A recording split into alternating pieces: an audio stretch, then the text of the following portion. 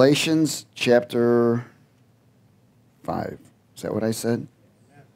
Okay, we'll see if that's right. Oh, I'm in Ephesians. Hallelujah. In verse 22.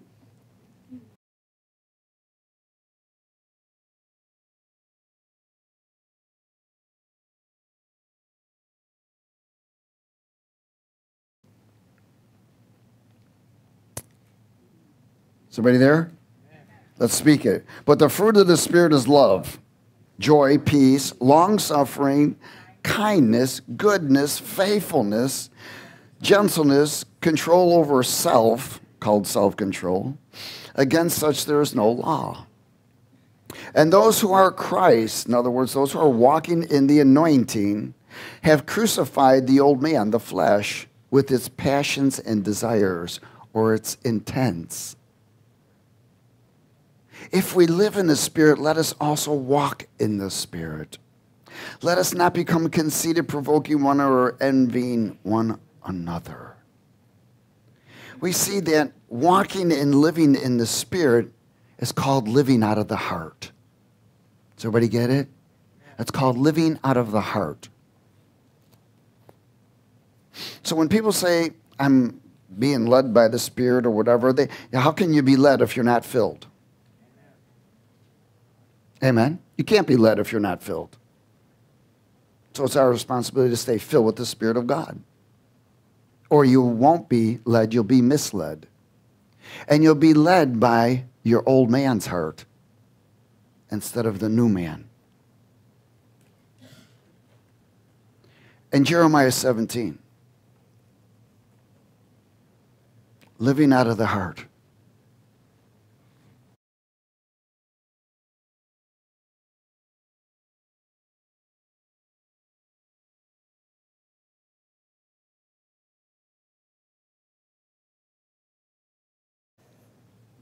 In verse 5. Is everybody there? Everybody okay? Thus says the Lord Cursed is the man who trusts in man and makes flesh his strength, who de- whose what? Heart departs from the Lord. For he shall be like a what? Shrub in the desert and shall not see when good comes, but will inhabit the parched places in the wilderness and a salt land which is not inhabited. Uh, in other words, when a person is living out of the old man's heart, he misses what God's trying to do. Verse 7 But blesses the man who trusts in the Lord and whose hope is in the Lord for he shall be like a tree planted by the waters, which spreads out its roots by the river, and will not fear when heat or trouble comes. But its leaf will continue to be green and grow, and will not be anxious in the year of drought, nor will cease from yielding fruit. The heart is what? Deceitful. Now, is he talking about the new heart or the old heart? The old heart. It's deceitful above all things and desperately wicked. Who can know it? I, the Lord, search the heart and test the mind. Here, the mind is talking about the soul. Even to give every man according to his way and according to the fruit of his doings. Again, the natural heart of the old man is called the human heart, not the physical, but the carnal. It is deceitful and wicked because it carries the character of Satan.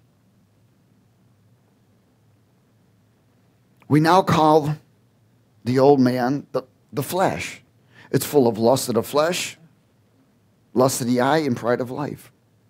It's still there. It dwells within me and you. The heart is the core of our being. It is the character of our spirit or our person. Of course, now our heart is the character of our new person, Christ. It's in Christ. That is the joining and combination of desires and intents.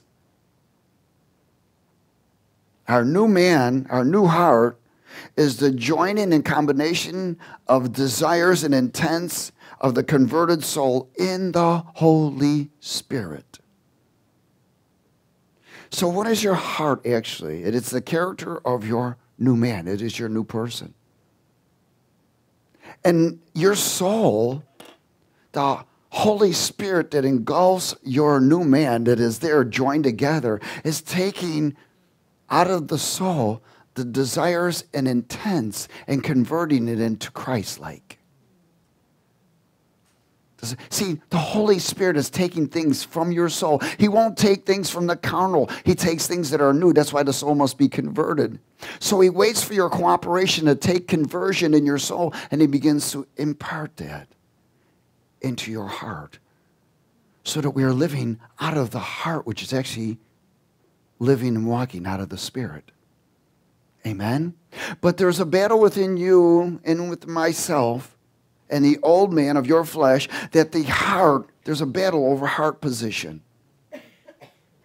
So if we're living out of the heart, we're living out of God's love. We're expressing the Christ character, not the old character. Amen? And again, this is in the Holy Spirit. In Ezekiel 36,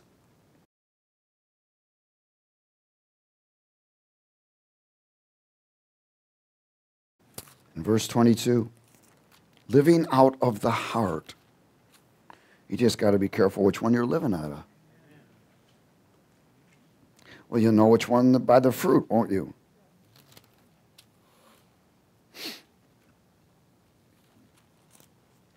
Ezekiel 36, 22. Therefore, say to the house of Israel, no when God speaks to Israel, he also speaks to us. Thus says the Lord, I do not do this for your sake, O house of Israel. I do this, I do not do this for your sake, but for my what? Holy name's sake, which you have profaned among the nations wherever you went. Listen, we used to profane the name of the Lord, didn't we? Until we were born again. And I will sanctify my great name, which has been profaned among the nations, which you have profaned in their midst and the nation shall know that I am the Lord, says the Lord of God. When I am hallowed, when I am honored, when I am expressed, when I am feared from coming out of you before their eyes. This is where you and I become, become a sign and wonder to the world. They know you've changed. They know you're no, living, no longer living out of the old heart, but out of the new heart, the new creation. Verse 24. For I will take you from among the nations, gather you out of all countries, and bring you into your own land. Then I will sprinkle clean water on you, and you shall be clean, and I will cleanse you from all your filthiness and all of your what? Idols. Filthiness, touching unclean things, and idols. Anything gets between you and God. Those are things that stall the growth and conversion. Those are things that will contaminate your heart which is contaminating your spirit. Remember, the only way that you can contaminate your spirit is what comes out of your mouth. The devil cannot touch your spirit. So he tries to influence you to speak to contaminate.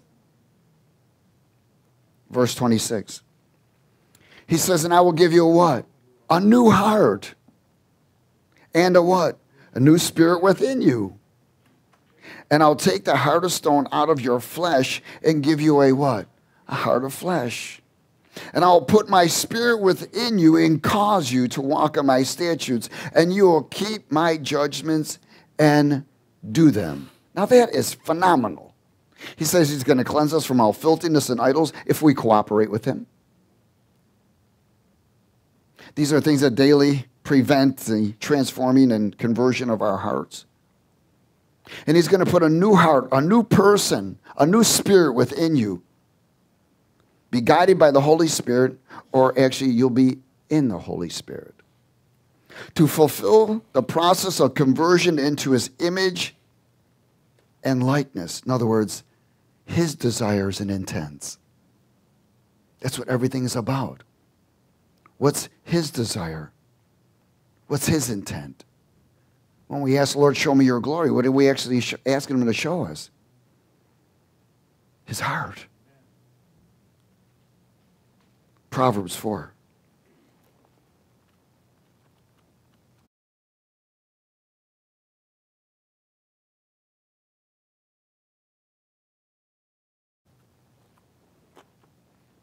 Proverbs 4. Living out of the heart is actually living and walking in the Spirit.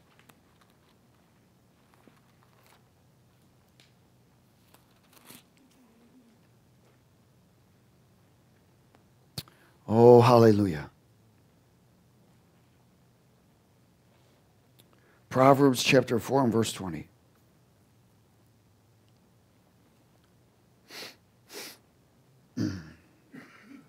Everybody there? Let's speak it. My son, give attention to my words and incline your ear to my sayings, and do not let them depart from your eyes. Keep them in the midst of your heart, for they are life to those who find them, and health to all their flesh.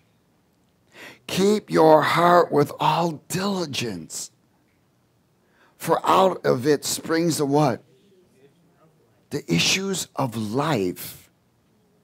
Put away from you deceitful mouth. Why? Now he's talking about the mouth because your mouth, my mouth, is the only thing that contaminates your spirit, man, which then affects your heart. And put perverse lips far from you. Yet your, let your eyes look straight ahead and your eyelids look right before you. Ponder the path of your feet and let all your ways be established. And do not turn to the right or left and remove your foot from all evil. In other words, keep your heart guided with the words of life, his life, and protect it from the words of self, man, the enemy. Your words contaminate your spirit. Your heart is the character of your spirit, your new man. We are required to live out of the heart, what we call, or out of the spirit, not out of the head of carnality. We are required to. Remember, God is raising up a headless warrior we are becoming a headless warrior to infiltrate. Those that are still living out of their head cannot infiltrate, they get too easily distracted. The cares of the world are too much for them.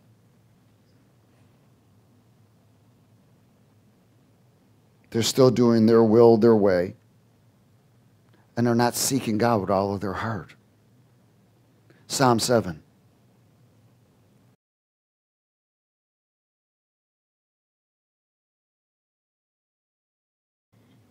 Psalm 7.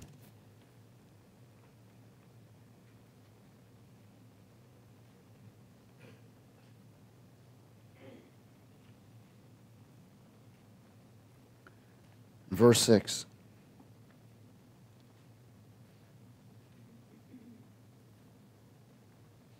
Hallelujah. Let's speak it. Arise, O Lord, in your anger. Lift yourself up because of the rage of my enemies. Rise up for me to the judgment you have commanded. So the congregation of the people should surround you. For their sakes, therefore, return on high. The Lord will judge the peoples. Judge me, O Lord, according to my righteousness and according to my integrity within me. Oh, let the wickedness of the wicked come to a what? An end, but establish the just. For the righteous God tests the hearts and the minds, or the hearts and the souls. My defense is of God who saves the upright in heart. In other words, Christ saves Christ. God tests the hearts and souls, the desires and the intents. He wants to know what's flowing out of there. He knows. But He wants you to know. He wants us to know whether we're living out of selfishness or righteousness. What's coming out of us? Amen? Are we still living out of the carnal heart or the new created heart of Christ Jesus and the Holy Spirit?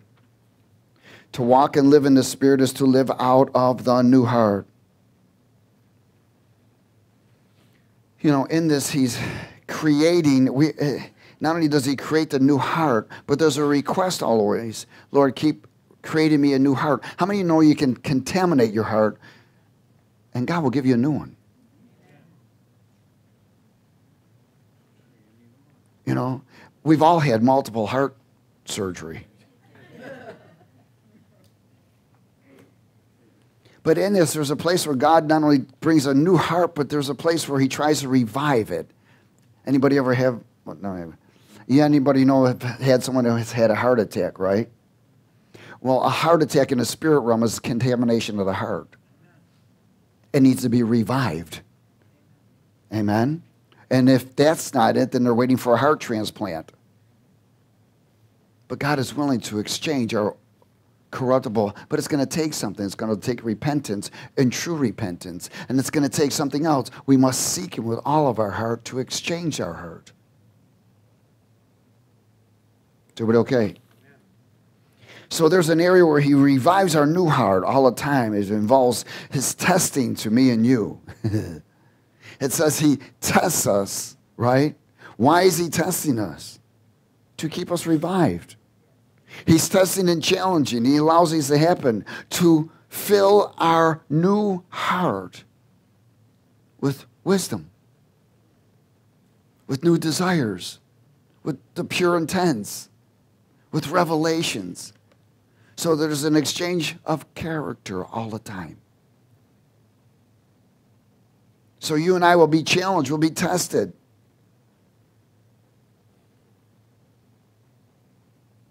Things will come before us where we have to make decisions. That decision will be made out of the old heart or the new heart. It'll be out of a heart of anxiousness or fear or out of righteousness and justice. Psalm 51. And I'm telling you, we need to live out of the heart these days. Psalm 51.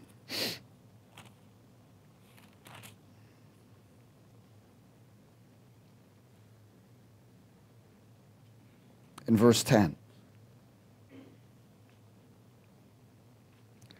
Let's speak it. Creating me a what? A clean heart, O God, and renew or revive a steadfast spirit within me. And don't cast me away from your presence or take your Holy Spirit from me. Restore to me the joy of your salvation and uphold me by your generous spirit. Then I will be a sign and wonder.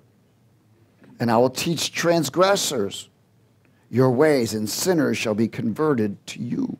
Again, create a clean and heart and a steadfast new person in the Spirit, in the Holy Spirit, to lead captives who've been taken captive as a headless warrior. In Mark 7.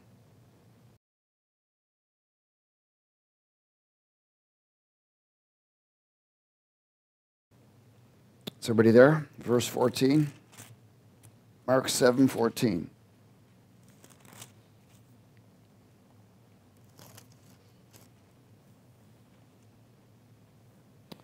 Again, I will continue to express that we are hard pressed on every side. There is evil is escalating to its highest levels.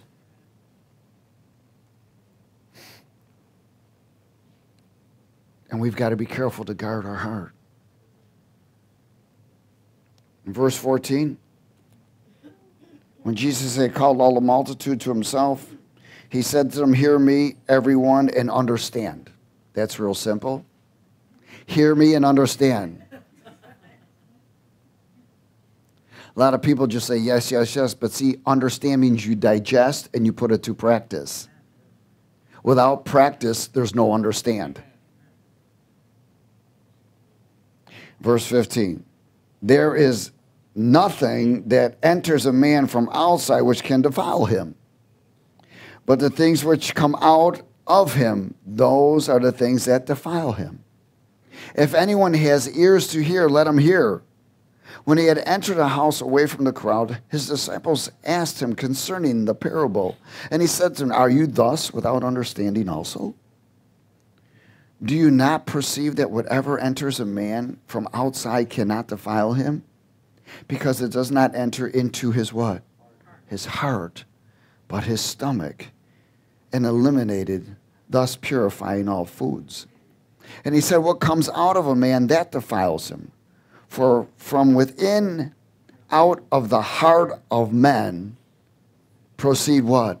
Evil thoughts adulteresses, fornications, murders, thefts, covetousness, wickedness, deceit, lewdness, and evil eye, blasphemy, proud, foolishness.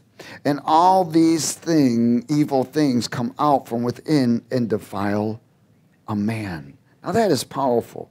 Well, what is he talking about? He said, what defiles the heart, the old man.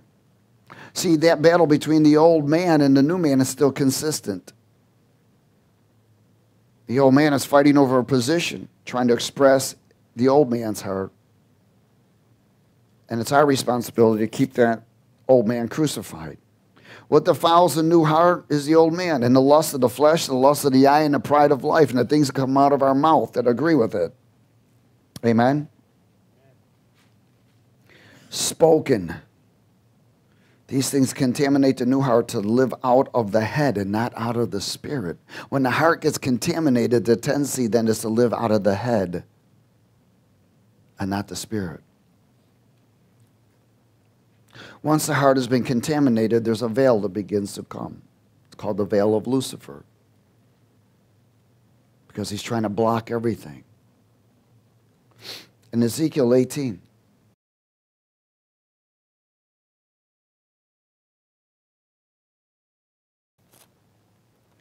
Is everybody okay?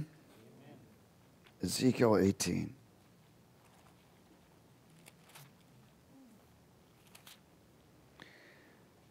Can offense contaminate your heart? People are easily offended.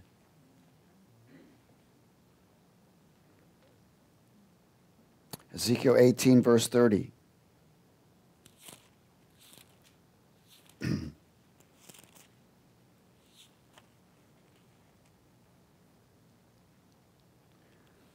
everybody there?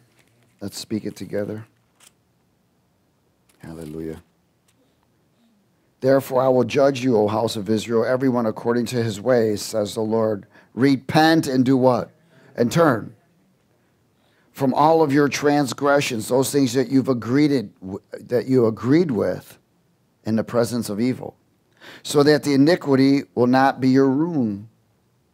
Cast away from you all the transgressions which you have committed and get yourselves a what? A new heart and a new spirit. For why should you die, O house of Israel? For I have no pleasure in the death of one who dies, says the Lord God. Therefore, turn and live. In other words, people repent but don't turn. Turning is repenting. First, you're acknowledging Him, Lord, forgive me for being a moron. Forgive me for touching and agreeing. Forgive me for those words. Forgive me for those thoughts. I'm going to turn away from it now. But first, I've acknowledged you and who I've offended. Now I can turn away from the sin, from the transgression, and then the iniquities shall be broke. But if you haven't turned from it, then you're still in it. Amen? And the heart is still being messed with. In Acts 13. How many of y'all know God knows the secrets of the heart?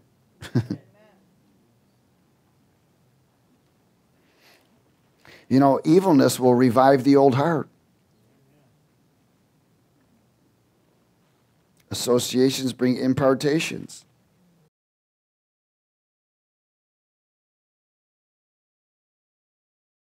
In verse 16, living out of the heart.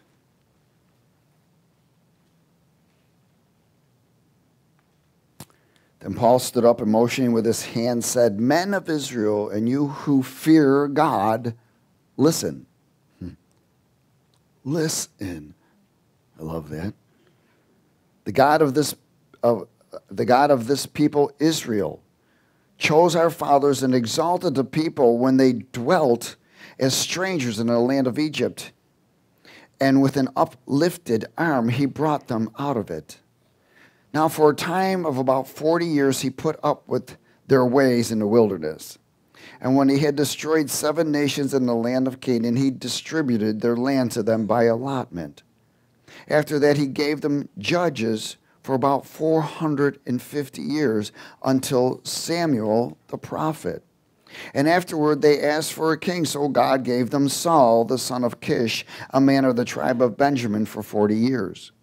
And when he had removed him, he raised up for them David as king, to whom also he gave testimony and said, I have found David, the son of Jesse, a man after my heart who will do all my will.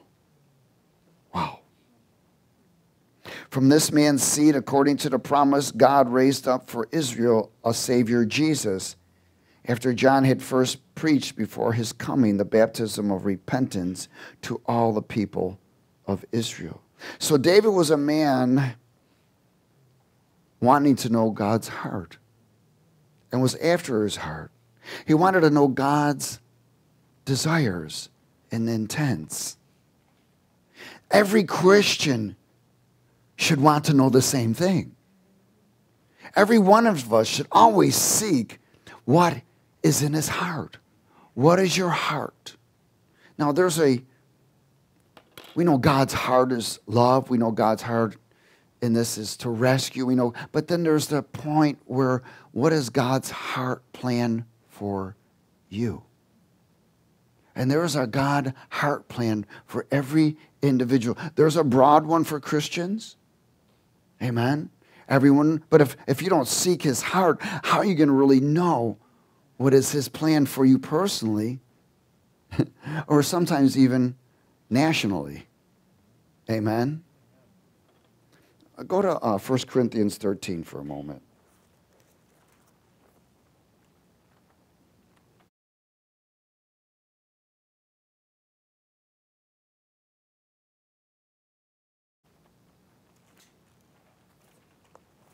First Corinthians 13.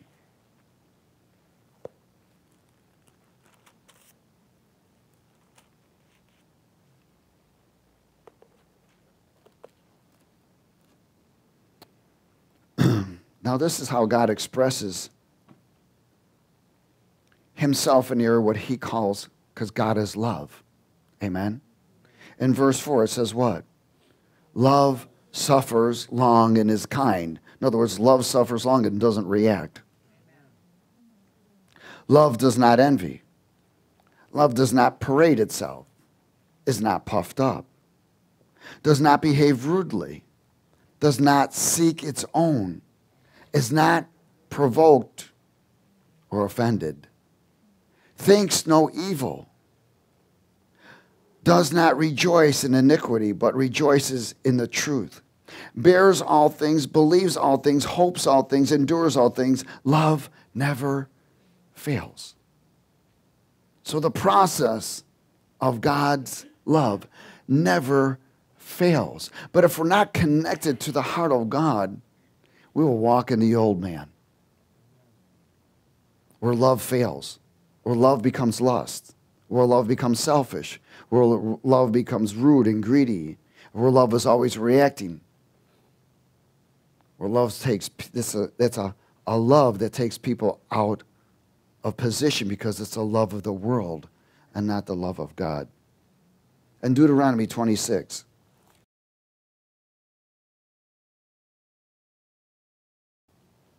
Remember, God couldn't use King Saul until he changed his heart. He had to give him a new heart. But then Saul contaminated his heart and God removed him. Deuteronomy 26. I believe it's first Deuteronomy. De- Deuteronomy. Oh, happy days.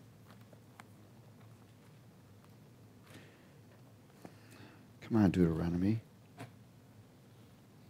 There you go. 26 16.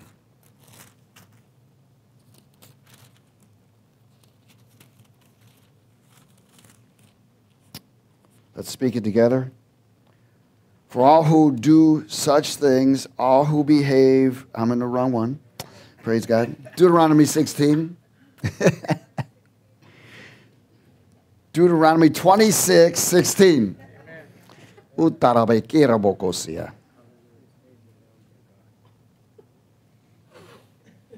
Are we there now? Good. This day the Lord your God commands you to observe these statutes and judgments. Therefore you shall be what?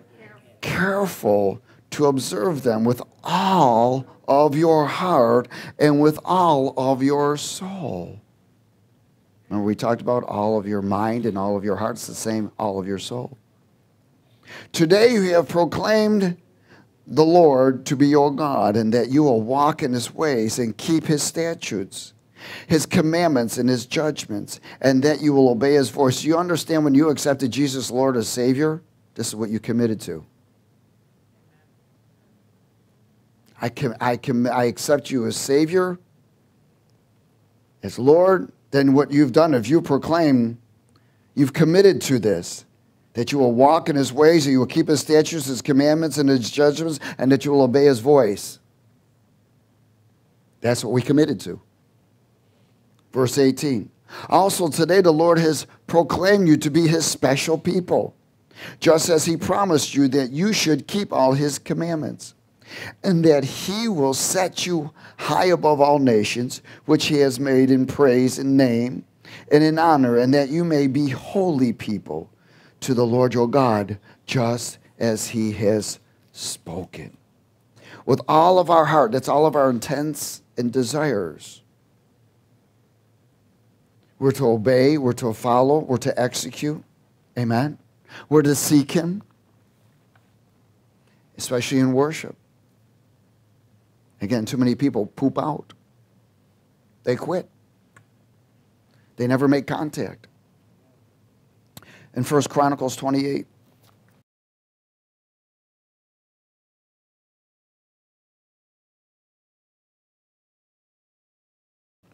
Oh, happy days. Chronicles, 1 Chronicles 28, verse 8. Living out of the heart.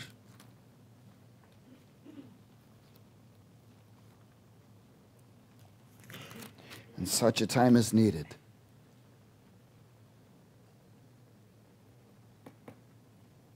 Word tells us to examine ourselves. If you can't ask someone else to.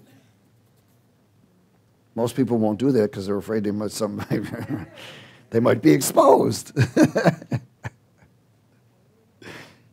Verse 8 Now, therefore, in the sight of all Israel, the assembly of the Lord, and in the hearing of our God, be careful to seek out all the commandments of the Lord your God, that you may possess this good land and live in it as an inheritance for your children after you forever.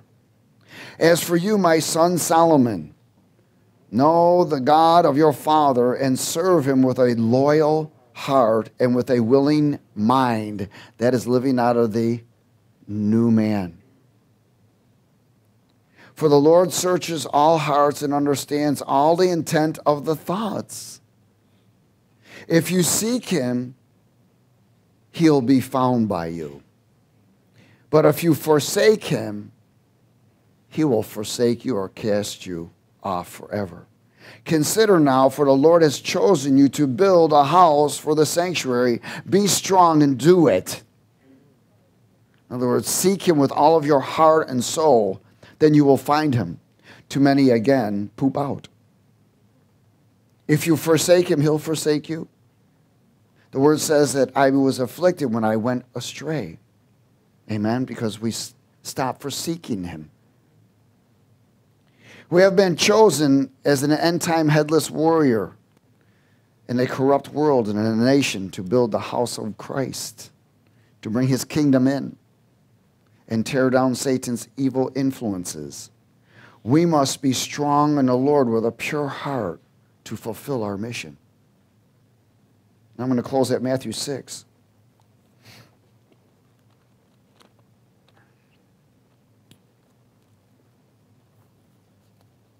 Living out of the heart, not out of the mind.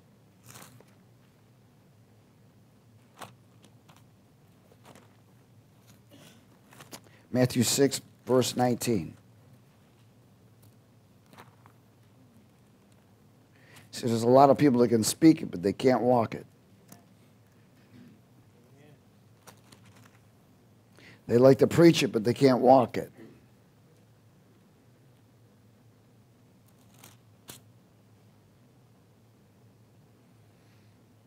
And there's no victory. No victory. Again, we're called to infiltrate Satan's kingdom, tear down strongholds, rescue those who have been taken captive, and expand the kingdom of Christ by taking territory. In verse 19,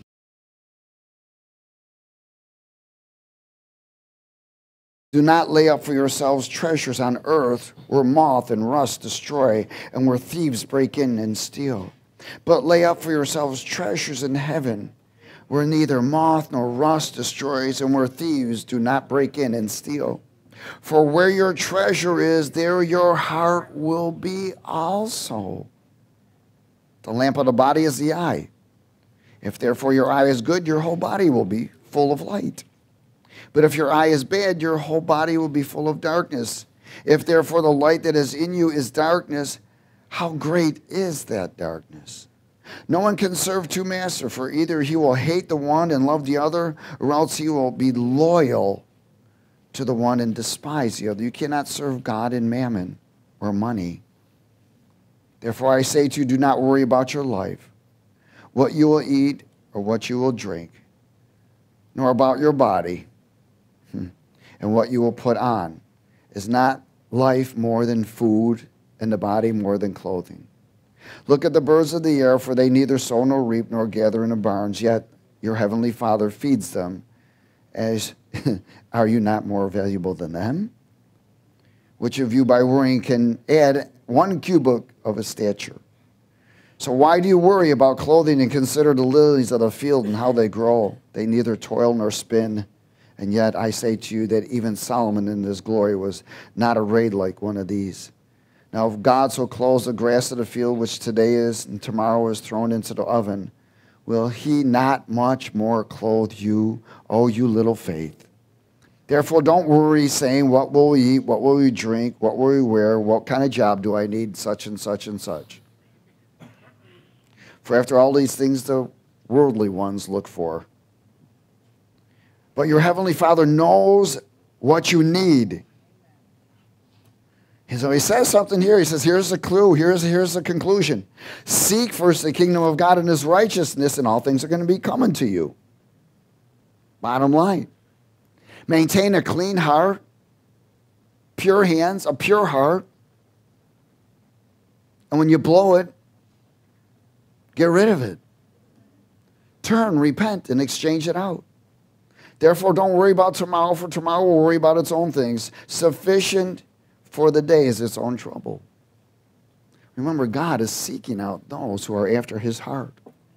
And that is the main thing. If you're not a man or a woman after his heart, then where is your heart?